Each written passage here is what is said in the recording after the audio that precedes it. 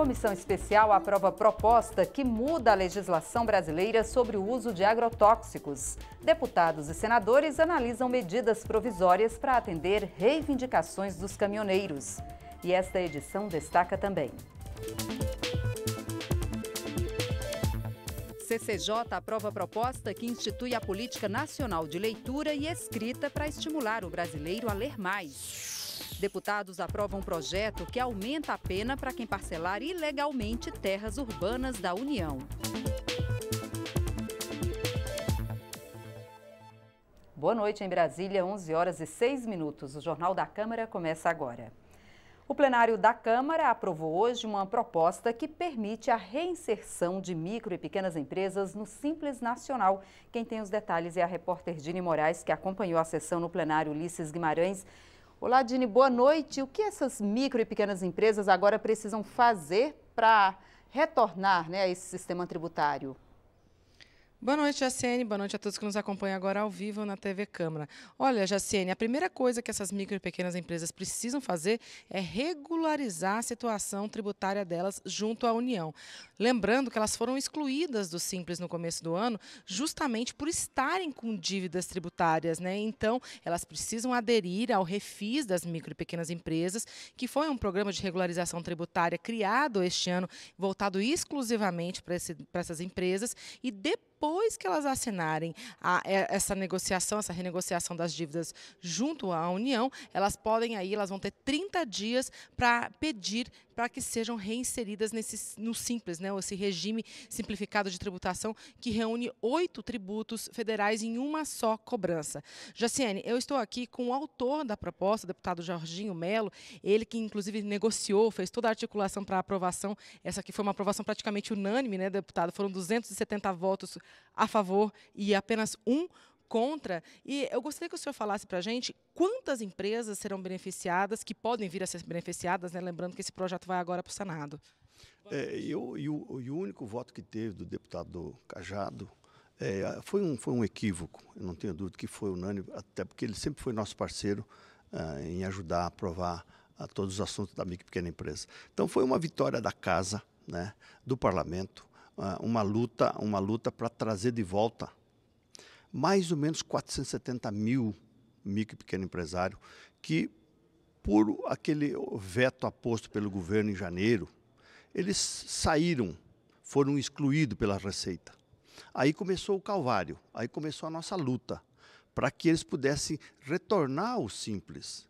Porque eles não foram para outro regime, eles foram para o esquecimento, eles foram para a informalidade. Se a coisa já estava ruim, com o simples, eles já não superaram as dificuldades, muito pior fora do regime. Que muita gente confunde o simples como um, um, um regime que dá benefício. Não dá benefício coisa nenhuma. Está eh, uh, no artigo 179 da Constituição Brasileira, que é um regime tributário, tem que ser respeitado como tal. E muitas vezes falta sensibilidade por parte da Receita, enfim, que não reconhece.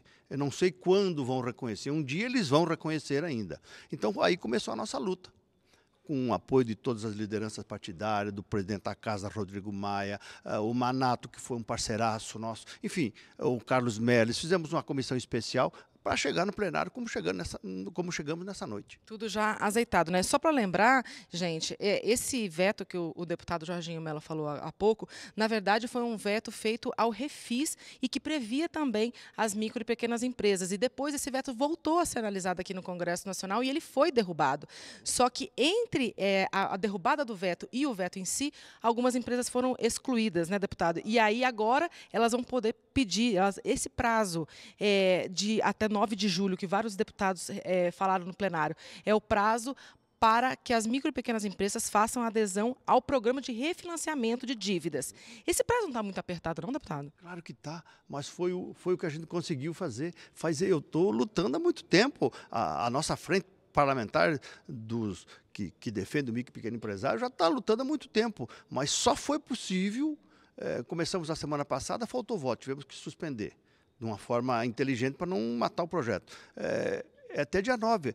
Eu já pedi ao secretário da mesa, ao presidente Rodrigo Maia, que faça todo o encaminhamento amanhã na CCJ, que precisa fazer, a formalidade, para a gente levar para o Senado. Eu vou levar pessoalmente, falar com o presidente Eunício, para que ele vote é, amanhã, se for possível, é, e que, gente, que dê tempo para o micro eh, de ser sancionado e o micro possa realmente é, regularizar, voltar para a legalidade, voltar a dar renda para o governo, porque é muito pelo contrário, não, não, não dá renúncia fiscal nenhuma.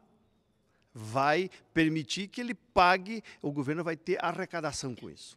Tá certo, deputado. Muito obrigada. Então, agora está aí muito boa sorte também nessa correria agora, né, para poder a, a, pressionar os senadores a votar logo o projeto. Lembrando que o próprio deputado Jorginho Melo, que faz parte dessa frente, né, é presidente da frente, coordenador da frente em defesa das micro e pequenas empresas, que mais a metade dos empregos do Brasil são gerados por micro e pequenas empresas. Por isso, então, que há essa quase unanimidade aqui no plenário, Jaciene, a respeito dessa proposta que agora vai para análise do Senado, como disse bem agora há pouco o deputado aqui. E a gente veio ouvir um pouquinho do debate também, Dini, que aconteceu no plenário, né, durante a discussão dessa, desse projeto. Isso mesmo, bem lembrado. Como eu, como eu disse, foi praticamente uma, uma unanimidade e vários deputados ressaltaram pontos de importância dessa proposta. Vamos ouvir. A questão tributária dessas pequenas e microempresas estaria plenamente resolvida. A Câmara dos Deputados votou esta matéria. No entanto, Temer vetou o que nós votamos aqui. Entre o primeiro voto que demos e a derrubada do veto, muitas empresas pequenas ficaram prejudicadas. Obviamente que foi um equívoco que aconteceu e, em função disso, o refis que foi aprovado recentemente, muitos empresários, pequenos empresários, não puderam aderir ao refis. Então, essa aprovação desse projeto na noite de hoje, em seguida irá ao Senado, certamente sancionado pelo presidente Temer, vai possibilitar esses pequenos empresários, esses grandes empreendedores, que são os que mais empregam no nosso país, ter a oportunidade de fazer a sua renegociação, tendo em vista a crise econômica que passa o nosso país e que vai lá impactar fortemente nessas pequenas empresas. Só uma última informação, Jaciene. Amanhã tem convocação de sessão do plenário do Congresso Nacional, que é quando os deputados e senadores se reúnem aqui no, no plenário da Câmara para decidir especialmente sobre vetos presidenciais e matérias orçamentárias, ou seja, mudanças aí no orçamento geral da União. Também tem sessão chamada aí para plenário aqui da Câmara, só dos deputados, com diversas propostas, entre elas o fim da votação daquela questão da, da sessão onerosa do pré-sal, ou seja, aquela autorização para que a Petrobras negocie eh, direitos de exploração do petróleo que hoje são exclusivas dela. Tá certo, Dini. Muito obrigada pelas informações. Boa noite, Jacinto. Boa noite. A Comissão Especial dos Defensivos Fitossanitários aprovou o relatório do deputado Luiz Nishimori, que muda as regras para aprovação e uso de agrotóxicos. O texto adota o termo pesticida para esses produtos. Os opositores do projeto que muda a regulação para os pesticidas ou agrotóxicos, em minoria na comissão especial, tentaram impedir a votação do relatório com medidas regimentais. Uma a uma, as tentativas foram derrubadas pelo voto da maioria dos integrantes ou rejeitadas pela presidente, deputada Tereza Cristina. Isso provocou protesto dos parlamentares da oposição. Lamentavelmente, no nosso entendimento, a decisão da presidente da comissão foi uma decisão parcial e não imparcial como deveria ter sido. A bancada ruralista que põe a gente para derrotar a oposição no voto mas não com argumentos como esse que retiraram de votação quatro requerimentos nossos que a bancada ruralista teria dificuldade de derrubar. Eu estou seguindo o regimento integralmente. Agora, infelizmente, é uma, é uma discussão muito acalorada, né, que muito clara os lados, quem defende o quê, e, vamos dizer, aqueles que estão é, na oposição a esse projeto, que queriam continuar nessa discussão, eh, postergando eh, todas, usando todo o regimento, não, eh, não ficaram satisfeitos. Por quê? Porque infelizmente, é uma matéria que estava vencida. Por 18 votos a 9, foi aprovado o parecer do relator ao projeto que veio do Senado e está sendo analisado junto com outras 29 propostas. O relatório prevê que um produto pesticida será liberado pelo Ministério da Agricultura, mesmo se órgãos como o IBAMA e Anvisa não tiverem concluído suas análises. O texto também prevê registro temporário para os produtos agrotóxicos, desde que estejam aprovados em pelo menos três países membros da organização para cooperação e desenvolvimento econômico, que é formada por 37 países entre os mais ricos do mundo. Esses são alguns dos pontos mais criticados pela oposição. Os deputados contrários ao texto também acusam o relator de ignorar alertas de que o projeto traria riscos para a saúde humana e para o meio ambiente, feitos por organizações científicas. O pessoal desconsidera, inclusive, manifestação da Organização das Nações Unidas em documento enviado para o presidente da Casa, para o ministro das Relações Exteriores manifestando preocupação em relação a essa flexibilização do controle de agrotóxicos no Brasil, que é a essência do projeto, entregando basicamente a decisão final exclusivamente ao Ministério da Agricultura com os interesses do agronegócio muito fortemente representados lá, a partir do próprio ministro, que é o autor original do projeto. O relator contesta esses argumentos. Diz que o projeto foi debatido durante dois anos na comissão especial, com a participação de vários segmentos e leva em conta principalmente a garantia de segurança alimentar para os consumidores de produtos agrícolas. O deputado nega ainda que a Anvisa e o IBAMA tenham sido enfraquecidos no seu papel de fiscalização dos defensivos. É uma das melhores propostas nesse momento para a sociedade brasileira, tanto para o consumidor final, que eu estou muito preocupado que os agricultores oferecem é, é, alimentos mais seguros possível, por isso que nós chamamos da lei da segurança alimentar, e tanto o, o agricultores que realmente está necessitando de, necessitando de novos produtos, novas moléculas que é mais seguro, mais eficiente, menos aplicações. O plenário da Câmara aprovou o marco regulatório do transporte de cargas. O projeto de lei traz diversas regras para o setor e contempla uma das reivindicações dos caminhoneiros que fizeram paralisação no mês passado. Agora a proposta segue para o Senado, enquanto deputados e senadores analisam as MPs editadas pelo governo para atender outras demandas da categoria. Em maio, o bloqueio das rodovias pelos caminhoneiros provocou momentos de tensão, afetou a economia e o dia a dia dos brasileiros, com a retenção de produtos essenciais. O governo enviou um conjunto de medidas provisórias para negociar o fim da paralisação dessa categoria, que responde por 60% da movimentação de cargas no Brasil, além de abastecer as outras alternativas de transporte. O plenário da Câmara se adiantou com a aprovação de um projeto de lei de 2016, o Marco Regulatório do Transporte de Cargas. O marco incorpora a reivindicação dos caminhoneiros, que seria atendida por uma dessas medidas provisórias. O projeto estende para todas as rodovias o fim da cobrança do pedágio pelos eixos suspensos, ou seja, quando os caminhões estiverem rodando vazios ou transportando um volume abaixo da capacidade total.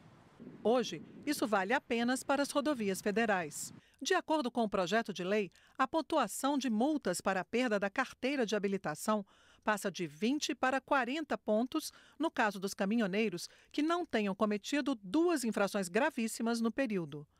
As ações relativas aos contratos de transporte de cargas serão julgadas pela Justiça Comum e não pela trabalhista, mesmo que o caminhoneiro autônomo trabalhe sob regime de exclusividade. A proposta também estabelece regras para contratação de seguros nos casos de acidentes, perda de mercadoria, furtos e assaltos. Duração mínima dos contratos, de acordo com a carga transportada e equipamentos necessários. Quantidade de caminhões para o registro como caminhoneiro autônomo e para os diversos tipos de empresas do setor. Limites mínimos de capital social para cooperativas e para empresas de transporte de cargas e de apoio à atividade.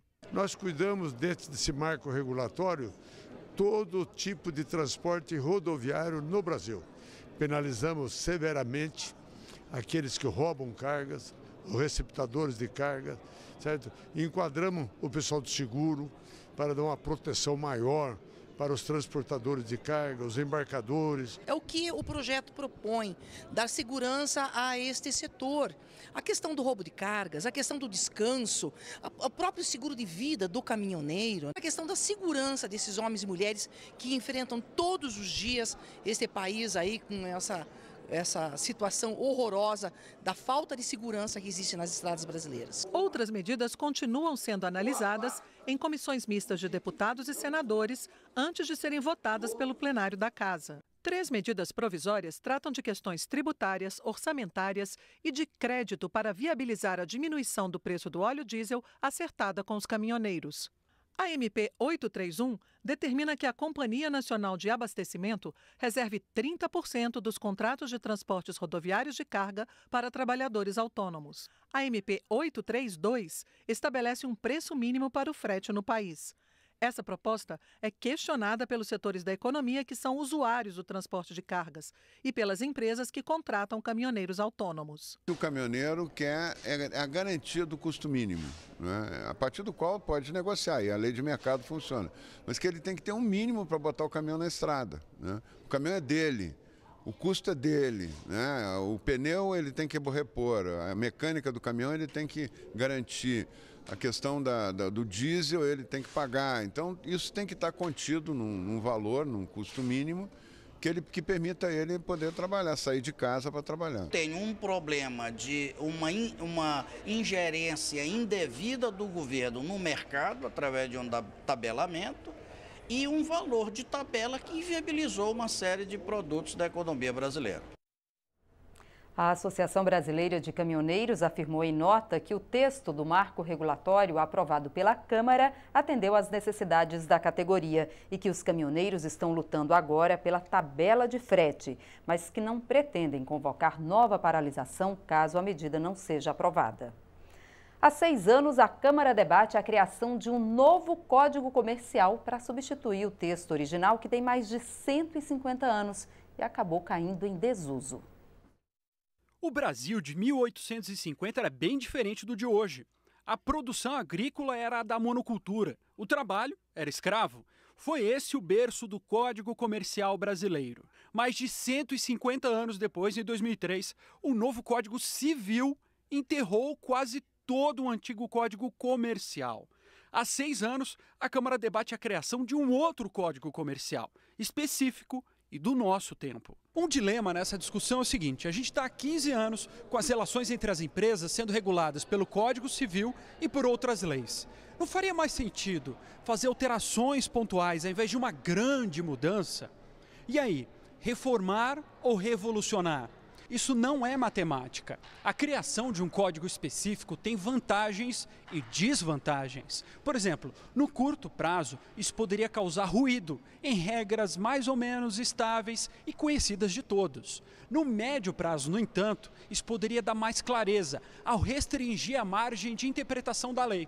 Encontrar uma saída para esse dilema é tarefa da política. O novo código promete uma modernização que hoje não existe. Só para você ter uma ideia, é até possível um contrato empresarial ficar armazenado em eletrônico, digitalizado. Mas antes o empresário tem que fazer em papel, assinar em papel, digitalizar e aí ele rasga. Né? Não, não tem sentido hoje. A digitalização é uma proposta, mas o texto vai muito além disso. São 785 artigos.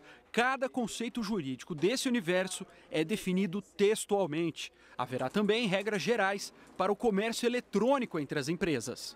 E se há muitos temas, há também muitos interesses. Por exemplo, aqueles que envolvem cartórios e juntas comerciais. Os dois fazem registros de novas empresas. Em tese, empresas simples são registradas em cartórios, empresas complexas são registradas em juntas comerciais. O relatório quer acabar com essa divisão. Caberia ao empresário escolher onde fazer o registro de sua empresa.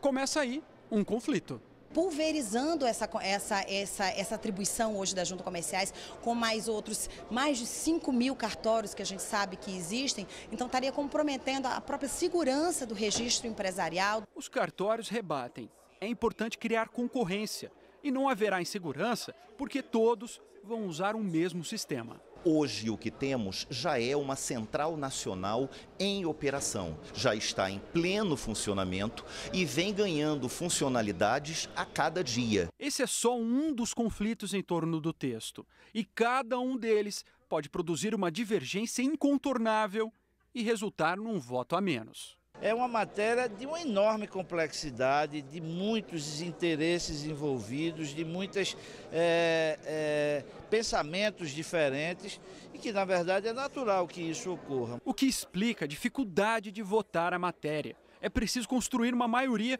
no conjunto de 27 deputados da comissão especial. O presidente tem insistido na votação. Isso é pauta positiva, isso promove geração de empregos, isso promove arrecadação de impostos, isso promove fortalecimento de empresas. E é essa a pauta que o Brasil precisa e é por isso que todos nós, membros da comissão, estamos empenhados a trazer essa solução para o Brasil. A Comissão de Meio Ambiente e Desenvolvimento Sustentável aprovou uma proposta que aumenta a pena para quem parcelar ilegalmente terras urbanas da União. A ocupação de terras públicas em Brasília é um bom exemplo do que acontece nas cidades brasileiras. Desde habitações precárias até condomínios para a população de renda mais alta foram edificados em terras do governo. No ano passado, uma lei aprovada pelo Congresso criou condições para regularizar boa parte dessas áreas. Agora, a Comissão de Meio Ambiente aprovou projeto de lei que aumenta a punição para quem promove loteamento irregular os chamados grileiros. As penas atuais de 1 a 4 anos passam a ser de 4 a 10 anos, além de multa. O objetivo, segundo o relator, é diminuir a ocorrência do problema. O que nós vimos foi, nos últimos anos, nas últimas décadas, essa área foi completamente retalhada. As pessoas entraram, grileiro entrou, retalhou, fez grandes negócios, grandes fortunas. A lei, se ela é branda, não adianta ele paga uma multazinha vagabunda, no outro dia está invadindo uma área de novo. Então há que endurecer a pena. O especialista em questões agrárias concorda em aumentar a pena para os grileiros urbanos, mas diz que o projeto deixou de fora a grilagem de áreas rurais, que considera mais grave. Se o projeto tem a intenção de combater a grilagem de terra urbana, aumentando a, a penalidade dos grileiros, em princípio é bom. Eu só estou chamando a atenção para que ele avance para o outro campo, que é a grilagem de terra rural, que é hoje um campo predileto de uma, um negócio, um verdadeiro negócio agrário de grandes proporções. A proposta está agora na Comissão de Constituição e Justiça. Se aprovada, segue para votação no plenário da Câmara. A Comissão de Constituição e Justiça da Câmara aprovou uma proposta do Senado que institui a Política Nacional de Leitura e Escrita, uma estratégia para estimular o brasileiro a ler mais. Em 2013, a jornalista Lidiane Mendes resolveu procurar um lugar a céu aberto para estudar estacionou sua Kombi em frente à Câmara Legislativa do DF, embaixo de algumas árvores. Gostou tanto de estudar no local que anos depois resolveu transformar a ideia num projeto de incentivo ao livro. Fundou então a Kombi da Leitura, um espaço para pessoas que querem estudar, ler ou doar livros. Fiz comunicação social, depois fiz é, direito e aí, com isto, eu me apaixonei cada vez mais pela leitura, pela literatura, e isso fez, fez inclusive, é, com que eu viesse para cá, uh, para o setor de indústrias gráficos, né, aqui e montar esta biblioteca Kombi da Leitura, que oficialmente é, foi inaugurada em março do ano passado. A ideia de Lidiane de incentivar a leitura faz sentido, uma vez que 40% da população brasileira não lê livros. Para tentar melhorar esse quadro, a Comissão de Constituição e Justiça da Câmara aprovou proposta que institui a Política Nacional de Leitura e Escrita. O objetivo é promover de forma permanente o livro, a leitura, a escrita, a literatura e as bibliotecas públicas no Brasil. De acordo com o projeto, a política será elaborada a cada 10 anos pelos Ministérios da Cultura e da Educação com a participação da sociedade e de órgãos como o Conselho Nacional de Educação e as secretarias estaduais de Cultura e de Educação.